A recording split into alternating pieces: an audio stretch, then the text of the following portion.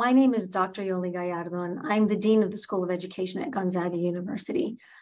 And here in the School of Education, our greatest mission is to serve K 12 students, serve their families, and serve the community as a whole.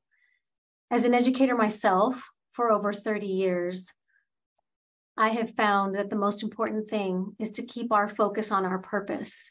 Our purpose is to help shape the future, to pay attention to the lived realities of those who surround us. We want to move beyond the now for generations to come.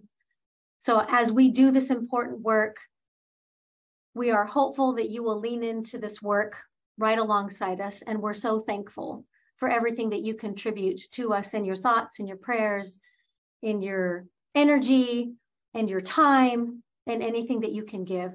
Thank you so very much. We are grateful.